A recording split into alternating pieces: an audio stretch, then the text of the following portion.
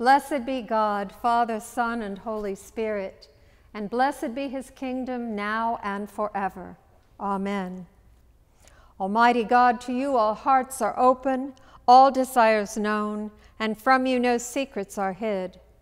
Cleanse the thoughts of our hearts by the inspiration of your Holy Spirit, that we may perfectly love you and worthily magnify your holy name through Christ our Lord.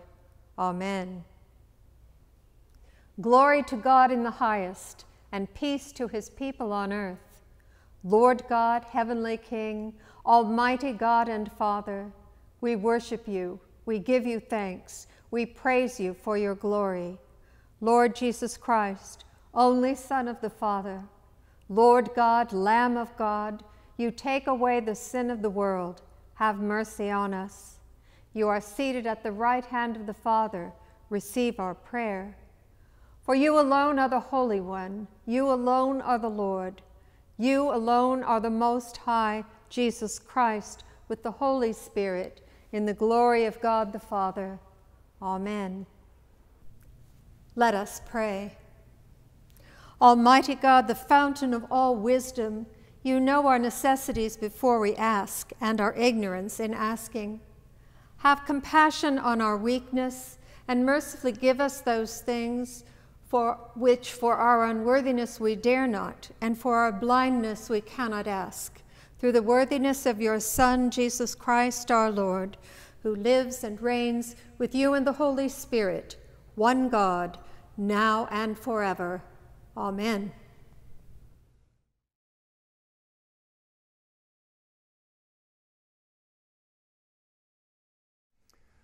A reading from the book of Jeremiah.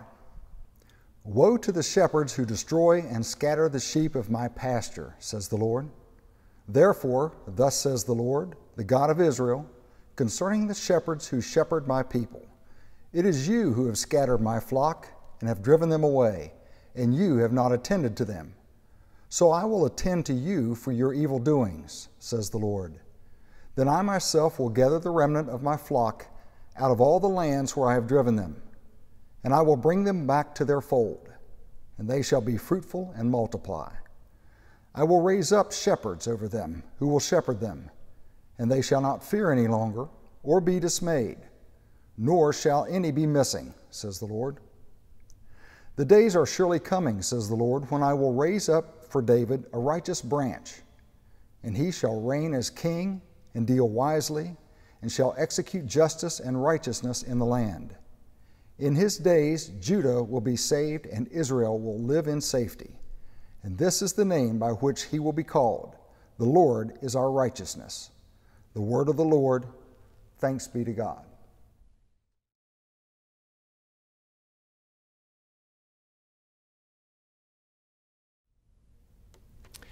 The Holy Gospel of our Lord Jesus Christ according to Mark.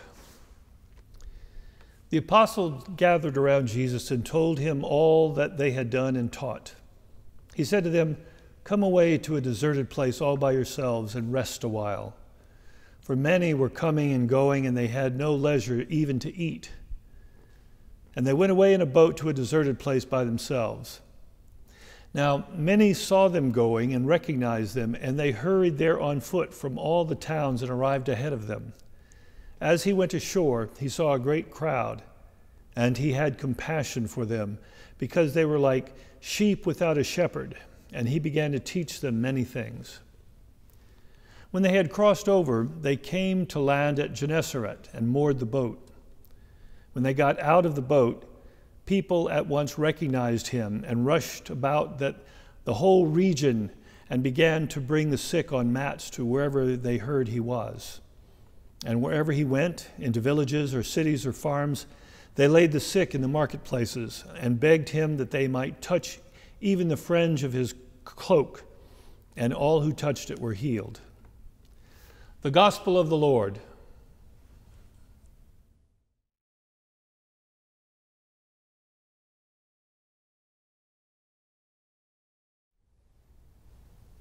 In the name of God, Father, Son, and Holy Spirit. Amen.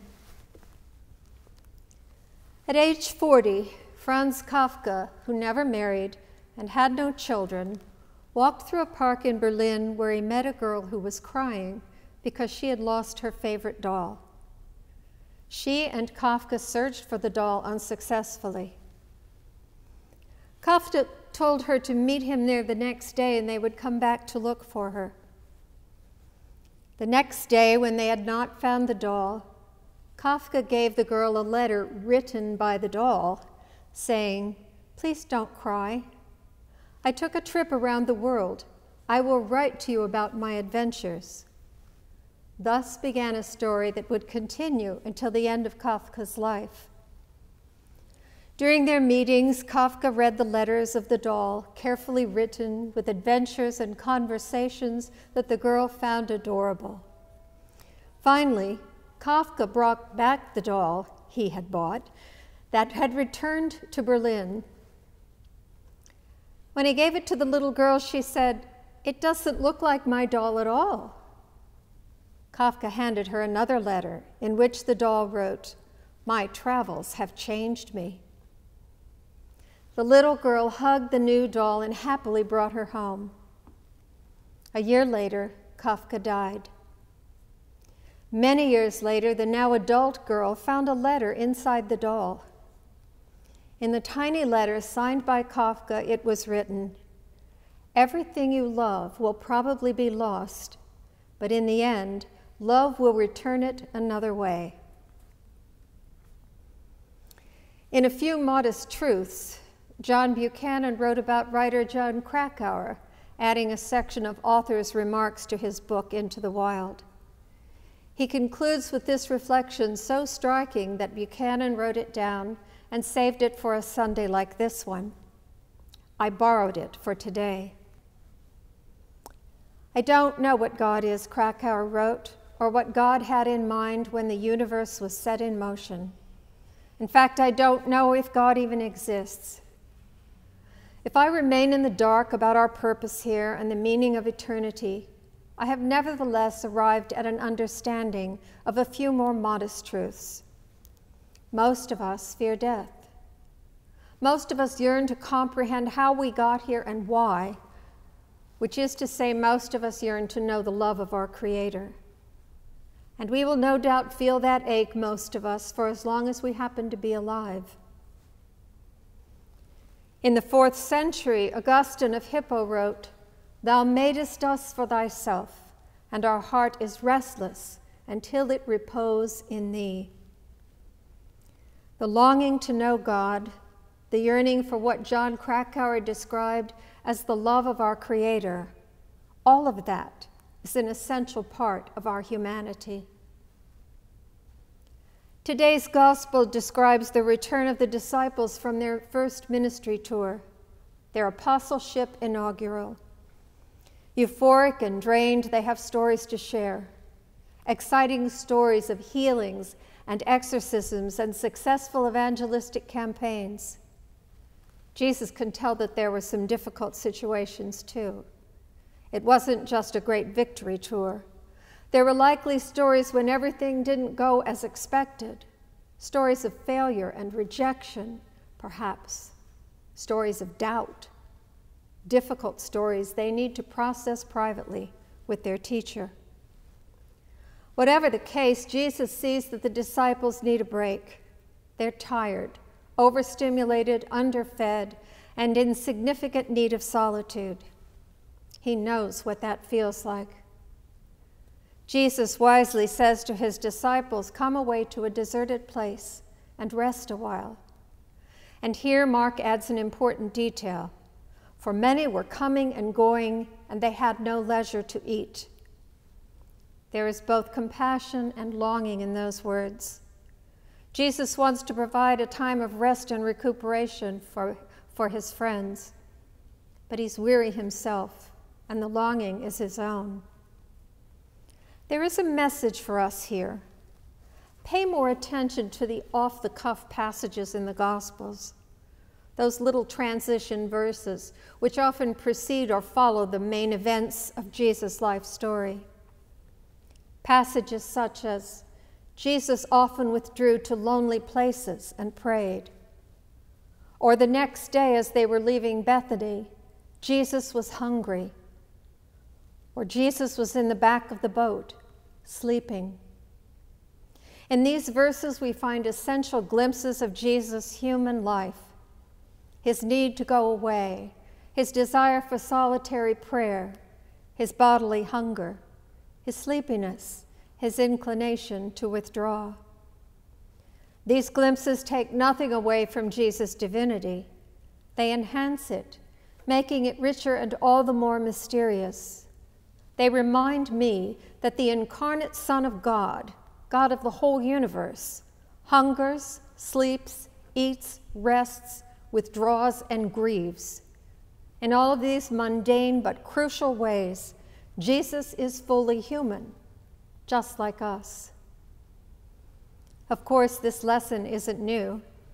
It runs through Scripture from its earliest pages. In Genesis, God rested on the seventh day and called the Sabbath holy. Honoring this is no small feat in our 21st century lives, where our worth is measured in profits gained or advantages lost. Rest is incidental after every chore is done. Rest never comes naturally for me. I forget about it. I resist it. There is always some task or deadline calling my name. To remember that God rested, that Jesus rested, is both astonishing and humbling. How dare I claim not to need a break when Jesus himself took one? The Sabbath is the only thing in creation account that God called holy. I would do well to pay attention. So would we all. Back to the gospel. Jesus is also like us in that sometimes his best laid plans to find rest get superseded by circumstances. According to Mark, Jesus' retreat by boat idea fails. The crowds anticipate his plan and follow on foot. By the time he and his disciples reach their destination, the crowds are waiting, and the quiet sanctuary Jesus seeks is nowhere to be found. He looks at the crowd and has compassion. The agenda is set aside instantaneously the disciples see an unwanted, unwelcome interruption. Jesus sees lost sheep needing a shepherd. Compassion trumps the disciples' needs, their exhaustion, and his own. I love a vignette Henri Nouwen told about himself when he first came to this country to teach at Notre Dame. Nouwen said he was surprised at the way American professors kept their office doors open. Aren't you constantly interrupted? He asked a colleague. How do you get any work done? His colleague responded, Henry, your interruptions are your work. A bit of truth relevant for all busy people. Now there are so many people crowding around him that Jesus and the disciples get in the boat and try again, this time on the other side of the Sea of Galilee.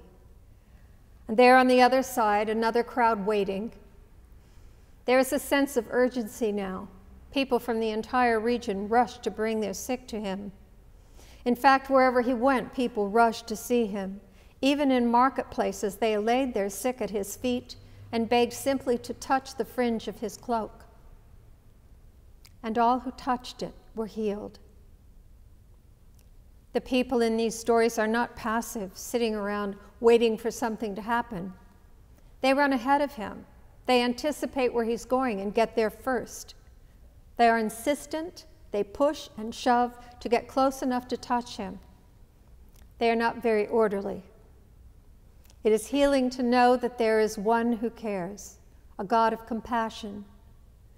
It is not just an interesting idea, it is a healing reality to get close to Jesus, to reach out and touch the fringe of his cloak. When the chips are down, when life takes an unexpected turn, the job you have counted on to provide for your future and to give you a sense of identity comes to an end. It is healing to know about the one who knows and cares.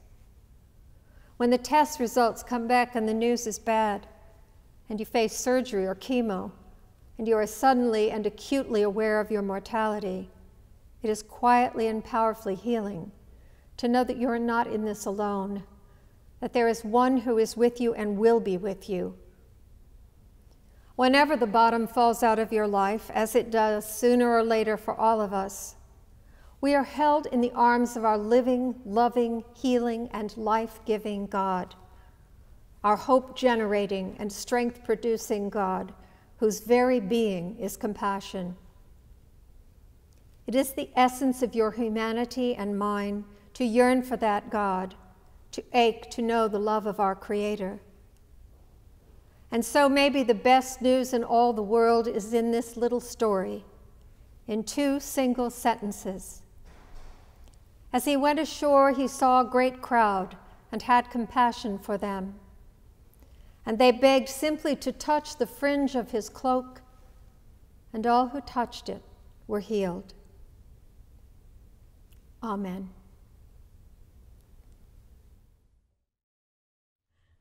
Let us reaffirm our faith in the words of the Nicene Creed.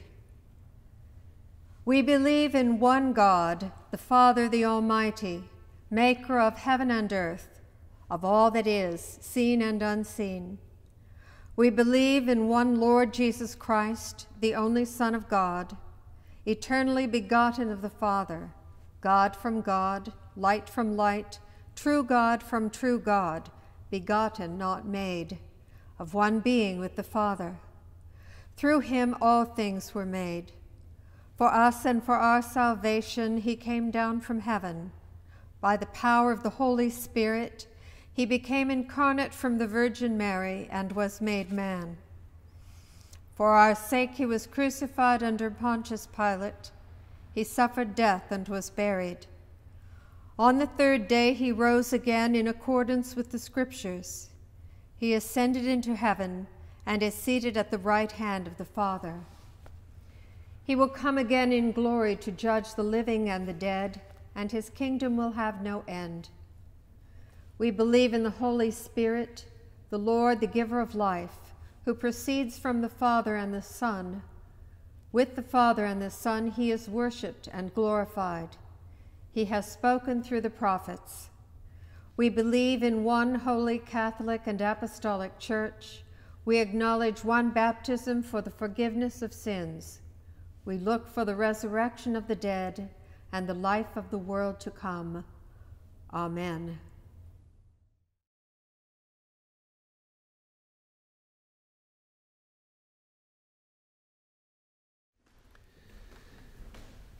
In peace, we pray to you, Lord God for all people in their daily life and work, for all our families, friends, and neighbors, and for those who are alone, for this congregation, the nation, and the world, for all who work for justice, freedom, and peace, for the just power and for the just and proper use of your creation, for all the victims of hunger, fear, injustice, and oppression for all who are in danger, sorrow, or any kind of trouble, for those who minister to the sick, the friendless, and the needy, for the peace and unity of the Church of God, for all who proclaim the gospel and all who seek the truth, for Michael, our presiding bishop, Ken, Nettie, and Wendell, our assisting bishops, and all bishops, for Darren,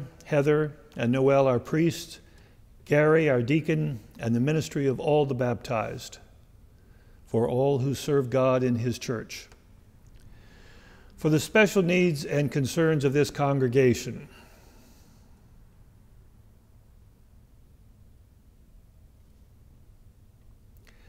We also pray for those whose needs are closely linked with ours, and for those who suffer from any sickness, grief, or distress especially those on our parish prayer list, including Aggie, Elle, Gloria, John, Mandy, Mike, Paula, Rosemarie, Sandy, Susan, Ted, and all those affected by natural disasters and human tragedies, the first responders, and the aid and relief efforts that continue around the world, and especially for everyone affected by the coronavirus pandemic as well as all our shut in parishioners and their caregivers. I invite you to name your own names and concerns, either offered silently or aloud.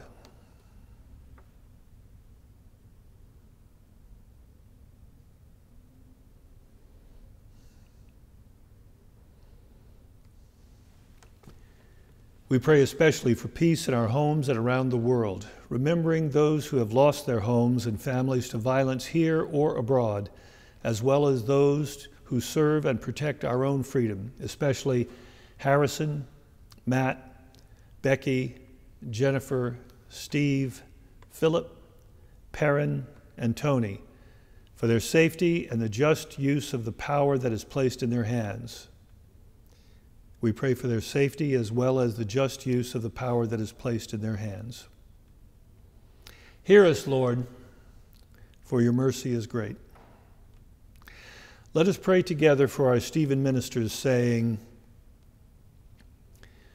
Gracious and loving God, guide our Stephen ministers who continue to step out in faith as they walk the journey with their care receivers Bless the relationships created and strengthen the trust in you that is formed. May our Stephen ministers and leaders feel your presence and be empowered by your Spirit, granting them wisdom and courage to do the work you have prepared them to do. We thank you, Lord, for the blessings of this life. I invite your own thanksgivings, either offered silently or aloud.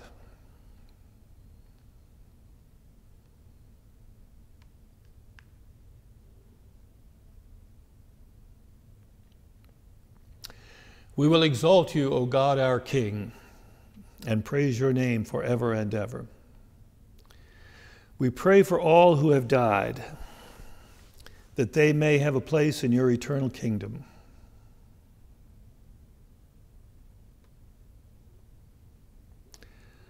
Lord, let your loving kindness be upon them who put their trust in you.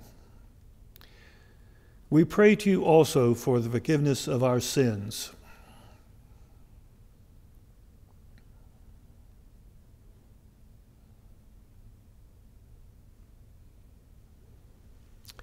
together. Have mercy on us, most merciful Father.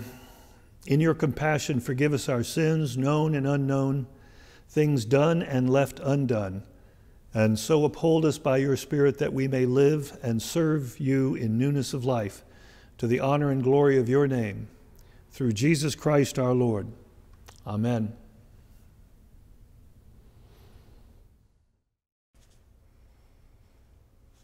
The Lord be with you.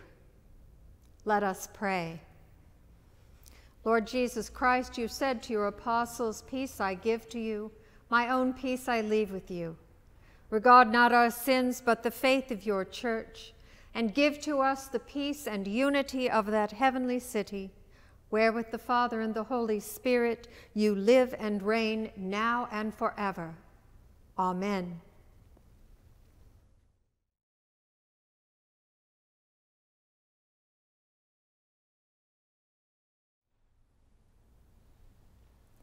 The Lord be with you. And also with you. Lift up your hearts. We lift them to the Lord. Let us give thanks to the Lord our God. It is right to give him thanks and praise. It is, it is right and a good and joyful thing always and everywhere to give thanks to you, Father Almighty, Creator of heaven and earth. For you are the source of light and life. You made us in your image and called us to new life in Jesus Christ our Lord. Therefore, we praise you, joining our voices with angels and archangels and with all the company of heaven, who forever sing this hymn to proclaim the glory of your name. Holy, holy, holy, Lord, God of power and might, heaven and earth are full of your glory. Hosanna in the highest. Blessed is he who comes in the name of the Lord. Hosanna in the highest. Holy and gracious Father, in your infinite love, you made us for yourself. And when we had fallen into sin and become subject to evil and death, you in your mercy sent Jesus Christ, your only and eternal Son, to share our human nature, to live and die as one of us, to reconcile us to you, the God and Father of all. He stretched out his arms upon the cross and offered himself in obedience to your will, a perfect sacrifice for the whole world. On the night he was handed over to suffering and death, our Lord Jesus Christ took bread. And when he had given thanks to you, he broke it and gave it to his disciples and said, Take, eat. This is my body, which is given for you. Do this for the remembrance of me.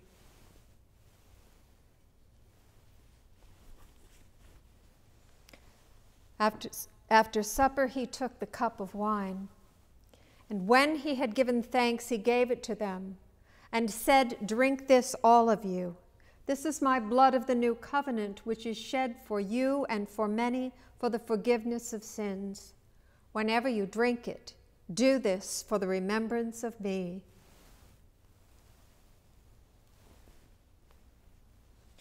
Therefore, we proclaim the mystery of faith. Christ, has died, Christ is risen, Christ will come again. We celebrate the memorial of our redemption, O Father, in this sacrifice of praise and thanksgiving. Recalling his death, resurrection, and ascension, we offer you these gifts. Sanctify them by your Holy Spirit to be for your people the body and blood of your Son, the holy food and drink of new and unending life in him. Sanctify us also that we may faithfully receive this holy sacrament and serve you in unity, constancy, and peace. And at the last day, bring us with all your saints into the joy of your eternal kingdom. All this we ask through your Son, Jesus Christ. By him and with him and in him, in the unity of the Holy Spirit, all honor and glory is yours, Almighty Father, now and forever. Amen. And now, as our Savior Christ has taught us, we are bold to say, Our Father, who art in heaven, hallowed be thy name. Thy kingdom come, thy will be done, on earth as it is in heaven. Give us this day our daily bread, and forgive us our trespasses, as we forgive those who trespass against us and lead us not into temptation, but deliver us from evil. For thine is the kingdom, and the power, and the glory, forever and ever. Amen.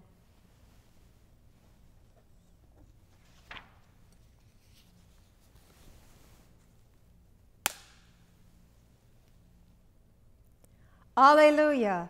Christ our Passover is sacrificed for us. Therefore, let us keep the feast Alleluia.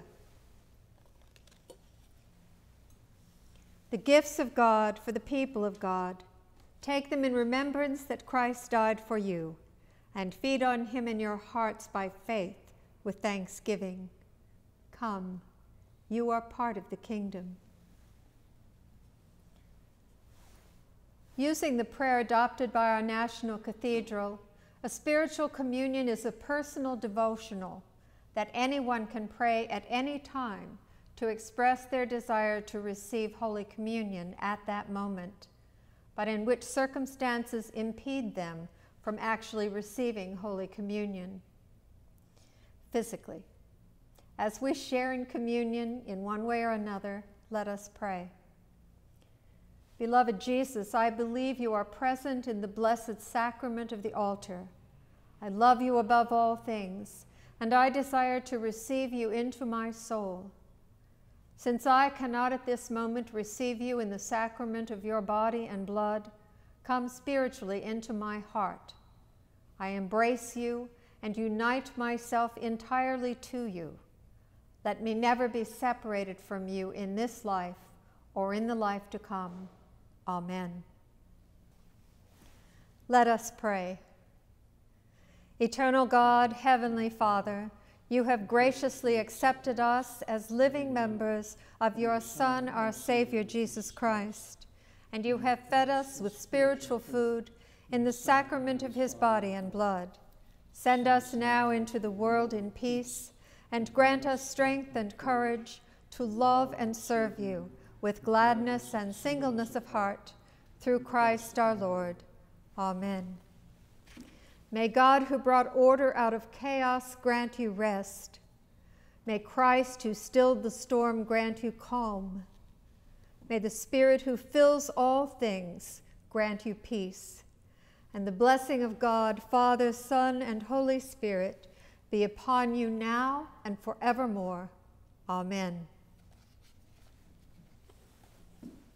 Go in peace to love and serve the Lord. Thanks be to God.